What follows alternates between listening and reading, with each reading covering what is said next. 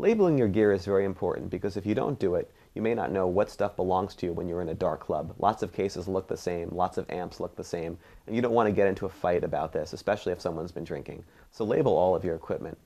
One way you can do this, probably the best way, is with a stencil. Because that way, if you get a stencil and you spray paint on the name of your band or your name, something like that, it's hard for someone to wipe off, and people are going to think twice about stealing it.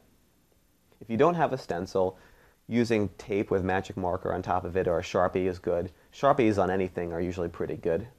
Stickers are actually a great way to keep track of your guitar cases, particularly if you're in a dark club, because if you, even from a distance, you're going to know which case is yours because you'll recognize the stickers. The most important label to put on your equipment is your own name.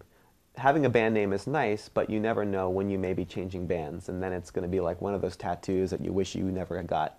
So put your name on, if you can put your address on too, that's great. And then you can always put your band name on as well. Sometimes on a sticker, that's fine.